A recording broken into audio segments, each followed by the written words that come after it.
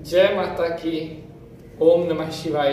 हर हर महादेव। नमस्कार, आभार। मैं पंडित नितिन शास्त्री, आप सभी दर्शकों का आज के एपिसोड पर हार्दिक स्वागत करता हूँ। उम्मीद है आप सभी स्वस्थ होंगे और माता रानी की कृपा आप सभी के ऊपर बनी रहे। कमेंट में सभी भक्त माता रानी के नाम का जयकारा लगा देंगे। बोलिए, साचे दरबार की जय। मेरे प्यारे बंधुजनों, दुकानदारी से जुड़े हुए उपाय तो अक्सर मैं आपको बताता ही रहता हूँ। मैं आपके लिए नए नए उपाय लेकर आता रहता हूँ जिनसे आपकी दुकान अच्छी चलने लग जाए। लेकिन आज मैं आपको बताने वाला हूँ दो ऐसी चीज़ें जो ऐसी गलतियाँ आपने अपनी दुकान में नहीं करनी है। अगर आप अपनी दुकान में ये गलतियाँ करते हैं तो अपनी इन आदतों को आप सुधार लीजिए, क्योंकि आपकी दुकान पर ग्राहक कदम भी नहीं रखेगा।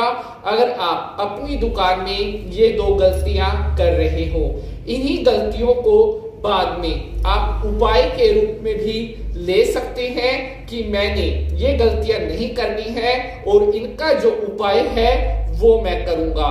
मैं आपको विश्वास दिला देता हूँ कि अगर आप आज का ये एपिसोड पूरा देख गए तो आपकी दुकान में कभी ग्राहकों की कमी नहीं रहेगी। क्योंकि उपाय तो हम करते हैं, वो तो हमारे लिए काम आते ही आते हैं। साथ में हमें कुछ ऐसी बातें भी ध्यान में रखनी चाहिए जो हमारी दुकान पर गलतियाँ ना हो, हमेशा हमारी दुकान पर ग्राहक आते रहे। तो आज का जो ये एपिसोड होने वाला है, ये एपिसोड सभी एपिसोड से अलग होने वाला है। बहुत ज़्यादा खास होने वाला है, क्योंकि जैसी जानकारी मैं आज आपके लिए लेकर के आया हूँ, ऐसी जानकारी हर कहीं, हर रोज नहीं मिलती। तो जितने भी हमारे, इस टाइम हमारे भक्त हमें देख रहे हैं, अगर आप पहली बार पंडित नितिन शास्त्री चैनल पर आए हैं तो अभी चैनल को सब्सक्राइब करने के बाद घंटी का निशान ज़रूर दबा लें जिससे आपको आने वाले हर एपिसोड की जो नोटिफिकेशन है, वो सबसे पहले मिलती रहे। तो चलिए अब देवी मैया को प्रणाम करते हुए आज के इस महत्वपूर्ण एपिसोड की शुरुआत करते हैं।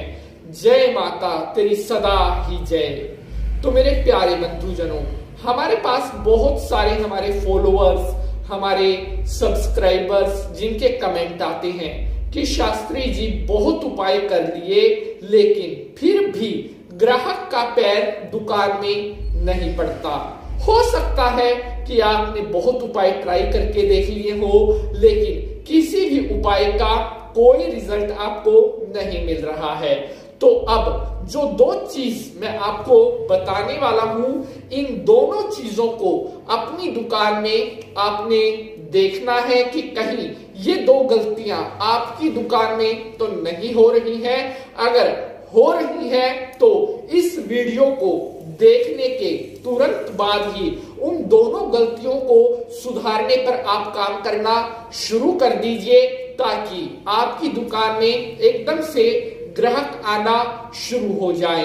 तो मेरे प्यारे बंधुजनों, चलिए, अब मैं एक एक करके वो दोनों चीज़ें आपको बताता हूँ जो आपकी दुकान में हमेशा ग्राहक आने से रोकती है।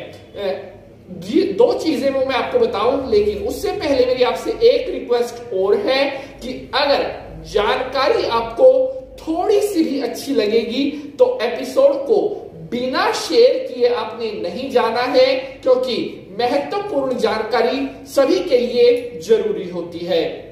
तो चलिए, अब मैं सबसे पहली जो गलती है वो आपको बताता हूँ, जिसकी वजह से दुकान में ग्राहक नहीं आते। दुकान में बैठने पर जो आपका मुख है, वो कभी भी पश्चिम की तरफ़ नहीं होना चाहिए। चाहे आप अपनी गद्दी पर बैठे हैं, या आपने कोई कुर्सी रखी हुई है, या आपका कोई काउंटर है, जिस टाइम आप अपनी जो गद्दी है, जो आपकी चेयर है, जब आप उसके ऊपर बैठते हैं तो आपका जो मुख है, वो कभी भी पश्चिम की तरफ़ नहीं होना चाहिए, जिस डायरेक्शन में सूरज छिपता है सनसेट होता है, उस डायरेक्शन में कभी भी आपका मुख नहीं होना चाहिए। अगर आपका जो मुख है, वो दुकान में बैठने पर पश्चिम की तरफ़ होगा तो धीरे धीरे करके आपका भाग्य डाउन होता चला जाएगा। धीरे धीरे करके आपकी दुकानदारी डाउन होती चली जाएगी। और एक दिन ऐसा भी हो सकता है कि आपकी दुकान में बिल्कुल ही ग्राहक आना बंद हो जाए। अगर ये गलती आप अपनी दुकान में कर रहे हैं या आपकी दुकान में ये गलती हो रही है तो अभी इसी मिनट से इस गलती को आप सुधारिए। आपका जो दुकान में बैठने पर मुख होना चाहिए, वो या तो पूरब की तरफ़ होना चाहिए, या जो पहाड़ की दिशा बोलते हैं, उत्तर, उस तरफ़ आपका मुख होना चाहिए। उसी दिन से आपका काम चलना शुरू हो जाएगा। जिस दिन से ये गलती आप अपनी दुकान में सुधार लोगे। अब बढ़ते हैं आगे और बात करते हैं, दूसरी कौन सी सबसे बड़ी गलती है जो दुकान में ग्राहक आने का सबसे, ना आने का सबसे बड़ा कारण बनती है? एपिसोड को शेयर ज़रूर करना है, अगर हमारी मेहनत आपको पसंद आती है। तो दूसरी जो सबसे बड़ी गलती है, वो गलती ये है कि आपकी दुकान खोलने का, आपकी दुकान बढ़ाने का जो टाइम है उसमें अक्सर सबसे बड़ी गलती आप करते हैं।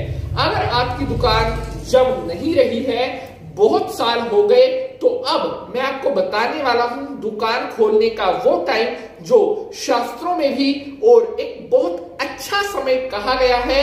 अगर आप उस टाइम में अपनी दुकान खोलते हैं तो आपकी दुकान में हमेशा ग्राहकों का तांता लगा रहेगा। करके देखिए, आजमा कर देखिए, फिर आप बताइएगा। सबसे पहली तो एक इंपॉर्टेंट चीज़ कि अगर आपका दुकान खोलने का, शाम को दुकान बढ़ाने का कोई निश्चित टाइम नहीं है कभी सुबह आप सात बजे दुकान खोल देते हैं कभी कभी आप दस ग्यारह बजे तक भी नहीं खोलते हैं।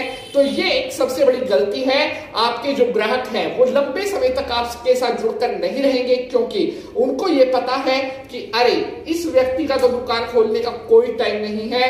अगर हम इससे चीज़ लेंगे और कई बार क्या होता है कि एक्सचेंज करनी पड़ती है, रिटर्न करनी पड़ती है तो इसका तो यही नहीं पता कि ये दुकान पर किस टाइम आता है। तो एक टाइम निश्चित कीजिए कि इस टाइम मैंने दुकान खोलनी ही खोलनी है और एक टाइम फिक्स करिए कि इस टाइम मेरे को दुकान बढ़ा देनी है। शास्त्रों के अनुसार क्या समय बताया गया है जो दुकान खोलने के लिए सबसे शुभ होता है? सुबह साढ़े आठ या नौ बजे तक का जो समय है, वो शास्त्रों के अनुसार बहुत शुभ और बहुत खास कहा गया है। इस टाइम में अगर आप अपनी दुकान खोलते हैं तो यकीन मानिए, कभी भी आपकी दुकान में माता महालक्ष्मी की धन की कोई कमी नहीं होगी।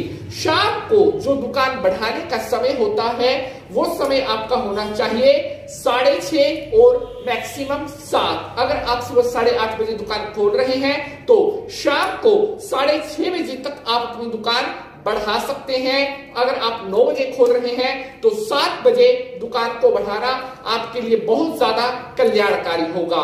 तो प्यारे बंधुजनों, बताई गई इन दो बातों पर अमल कीजिएगा। मैं आपको यकीन दिलवाता हूँ कि कोई भी ऐसी चीज़ नहीं है जो आपकी दुकान पर ग्राहक आने से रोक दे। आज के लिए बस इतना ही। अब आपसे मुलाकात होगी अगले एपिसोड में किसी और नई इंटरेस्टिंग जानकारी के साथ। तब तक के लिए जय जन्माष्टमी, जय श्री कृष्ण और राधे राधे